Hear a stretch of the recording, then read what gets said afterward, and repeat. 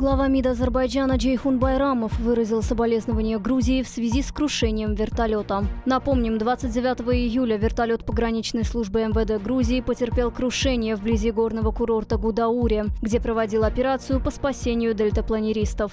Премьер-министр Грузии Ираклий Гарибашвили объявил 30 июля днем траура в стране.